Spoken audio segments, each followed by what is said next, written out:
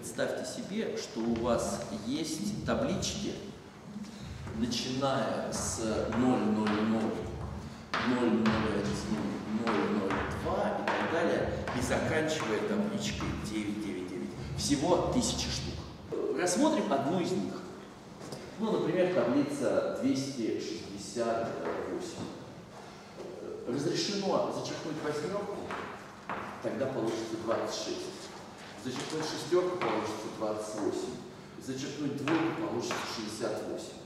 Так вот, такую табличку можно класть в один из этих трех ящиков, и нельзя ни в какой другой. Задача.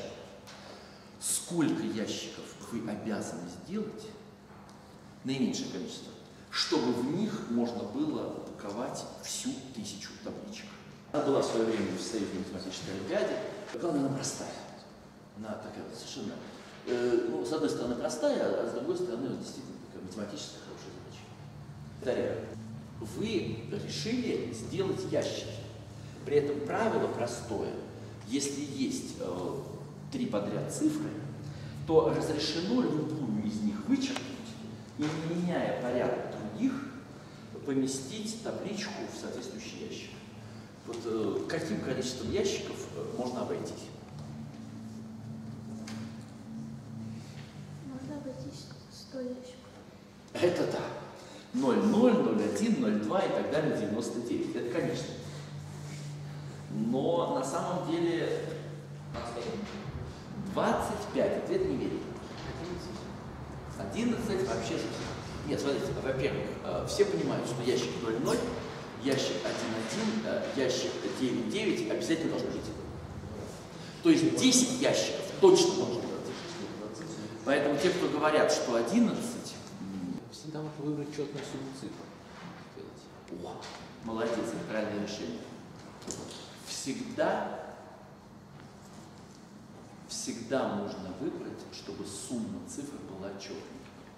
Вот Смотрите, когда у вас есть любые три человека, то обязательно среди них двое мужчин э, можно найти или можно найти две женщины.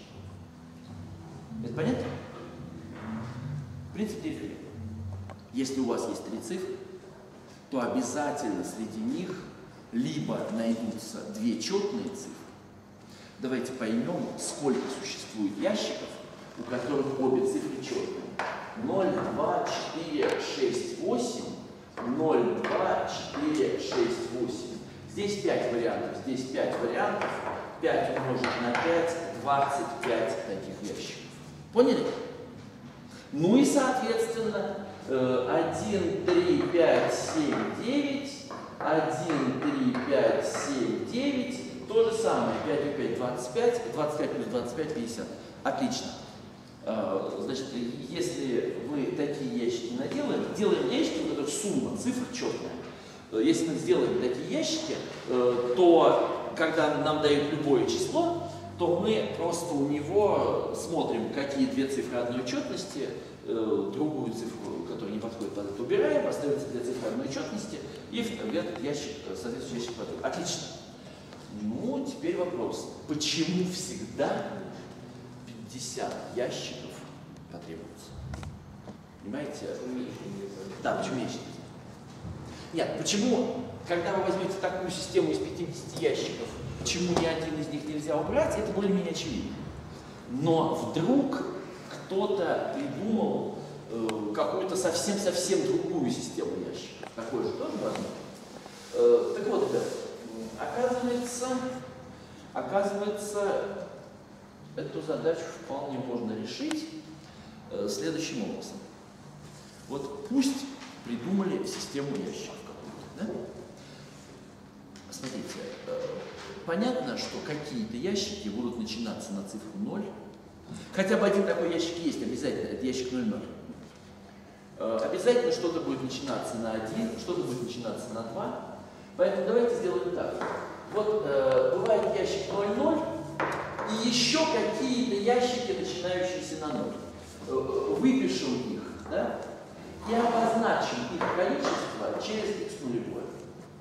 Бывает ящик э, один.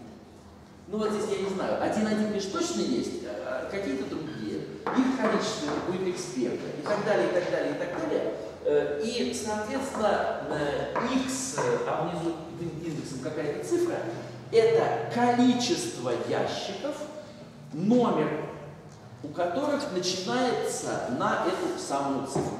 Давайте это аккуратно напишу. xk это количество k какая-то цифра. У нас э, с самого начала я объяснял, что от э, порядка цифр зависит. Есть ящики, начинающиеся на 0, ящики, начинающиеся на 1 и так далее, ящики, начинающиеся на 9. Понятно, что вообще-то в нашей задаче все цифры равноправны. Поэтому вполне разумно взять и среди этих чисел рассмотреть самое маленькое. Итак, э, выписываю эти числа через запятую и смотрю, какое из них самое маленькое. Ну, господа, э, понятно, что поскольку действительно ничего не зависит, э, понятно, что достаточно разобрать случаи, когда x нулевой самое маленькое. Просто в крайнем случае ну, поменяйте местами порядок цифр, да? Итак, пусть все эти числа больше или равны, чем наше некоторое число x нулевое. Замечательно. Да, и еще, э, значит, ящик 00 он у нас есть, э, значит, ящик, э, дальше мы не знаем, какие есть, какие нет. Опять, поменяв в случае необходимости порядок цифр, можно спокойно считать, что у нас вот такие вот ящики есть, вот эти вот есть, а вот эти что? А эти нет. Вот так и давайте считать. Значит, э, итак, ящики вида 0,1, 0,2 и так далее, 0 сколько-то там, э, до какого-то места есть, а с, с большими номерами ящиков нет. Ребята, теперь э, простое замечание. Представьте себе, что у вас нет ящика вида 0y, и у вас нет ящика вида 0z. Как вы считаете, ящик YZ в таком случае есть или нет? Есть. Совершенно верно. Для карточки 0YZ Э, вычеркивая z, получаешь 0y, вычеркивая y, получаешь 0z, вычеркивая z, получ... Э, вычеркивая 0, получаешь yz. Значит, э, есть три варианта. Если этих нет, значит это должна быть. Соответственно, сколько здесь штук? Вот здесь вот у нас, опа, кстати, а я ошибся. Ребята, красиво ошибку написали, правда? Здесь чисел же не столько. Ага, я на единицу ошибся. Нет, ну вычисление я не ошибусь, конечно. 0 x нулевое, там, ну, или 0,9, да? Так вот, здесь у меня чисел x нулевое, а всего их 10. Значит, здесь их сколько штук? 10 минус x нулевое штук. Для числа y у меня 10 минус x нулевое вариантов. Так, а для числа z у меня сколько вариантов? Столько же. Господа, вот столько ящиков уже обязано быть. Потому что все ящики вида YZ, где 0Y ящика нет и 0Z ящика нет, все они должны быть. Но на самом деле к этому количеству еще можно прибавить, знаете, что можно прибавить? А, можно заметить, что ящики вида один что-то, их вот столько штук, значит их не меньше, чем x нулевое. Ящиков э, вида 0 что-то, вот таких вот, их тоже x нулевое штук. И вот у нас есть вот эти вот, вплоть до x нулевой минус 1, от нуля до x нулевой минус 1, в каждой строке у нас э, не меньше, чем x нулевое ящиков. Причем это ящики, начинающиеся на небольшую цифру, поэтому это не те, которые мы здесь считали. Значит, еще надо взять x нулевое умножить на x нулевое. Не меньше, чем столько ящиков обязательно у нас есть. Что-нибудь поняли? Так, по-честному, поднимите руки, кто понял. Так, э, два человека, это, мягко скажем, мало. Давайте, выходите, объясните. Итак, разбив- м, разбиваем все ящики на ящики, которые начинаются на 0, ящики, которые начинаются на 1 и так далее. Э, Соответственно, считаем количество ящиков в каждой группе. Это x0, x1 и так далее. До x9. Теперь, э, из-за симметрии можно без потери общности утверждать, что ящиков, начинающихся на 0, меньше, чем ящики, начинающиеся на 0. Меньше равно? Меньше равно. Э, Также можно из тоже симметрии э, считать, что ящики вида 0, 0, 0, 1, 0, 2 и так далее до 0 и x нулевой минус 1, все, все эти ящики есть. А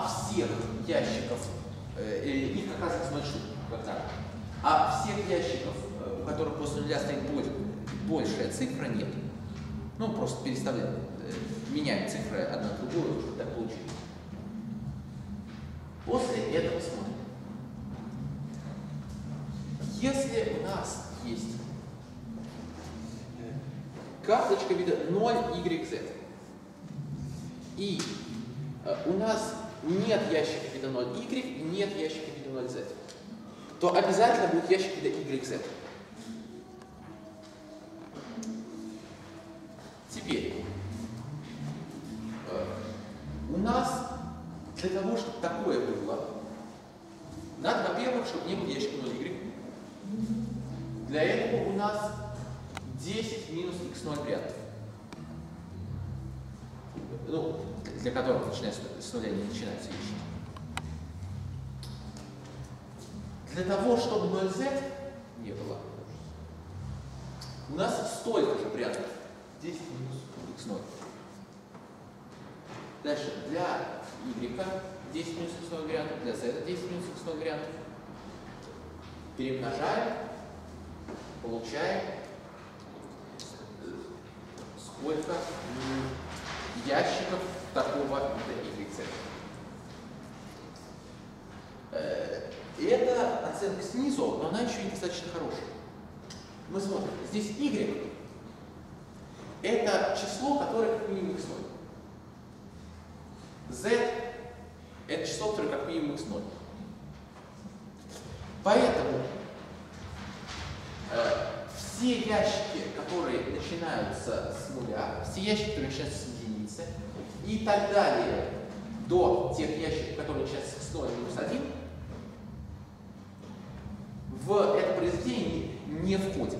В этот подсчет они не В вошли. этот подсчет они не вошли. Y достаточно большой. Y не меньше, чем X0. Да.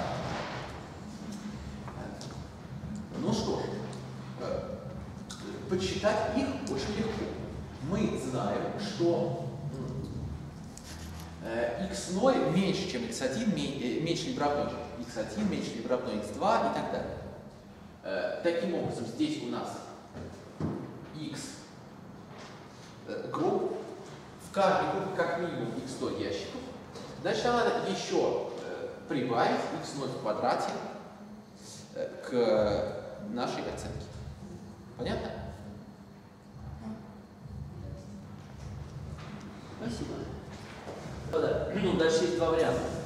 Либо вы знаете неравенство о том, что наименьшим значением вот этого выражения э, является число 50, то либо вы просто вместо x нулевого подставляете числа. То есть вы там единицу, двойку, тройку, четверку, давайте, единицу подставляем, либо 9 и 9, 81 плюс 1, 82, конечно, больше, чем 50. Двойку подставляем, там, 64 плюс 4, 68. Тройку подставляем, 49 плюс 9, э, сколько там будет? 58. Вот, э, и четверку подставляем, 36 плюс 16, 52. В любом случае больше, чем 50.